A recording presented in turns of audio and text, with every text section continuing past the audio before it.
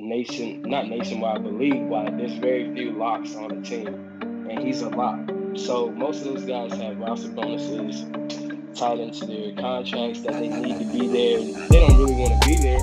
It's like, am I going to risk losing 100,000, 200,000, 250,000 for not coming to work out? Whereas like Chase can afford to do so because he has those endorsement opportunities. But I mean, I think he even said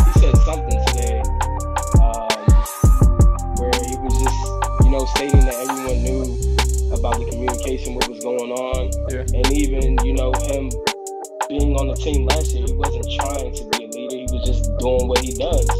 You feel me? So to some people that comes off like he's a leader, but that's where I say like there, there's always a misconception on who leaders are. It's not always your best team, your best player on your team. It just really depends on who has true leadership skills. He's just setting uh, leadership by example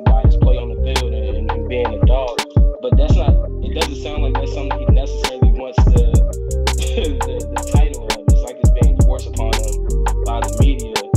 Uh, and it, it just kind of like made me think, like, damn, where's the storyline going to go? Because it seems like the media is going to keep trying to push him as a leader, which may not be a problem for him, but he definitely said in his presser today that, you know, that's not something that he was striving to be a leader. He's just doing what he's accustomed to doing.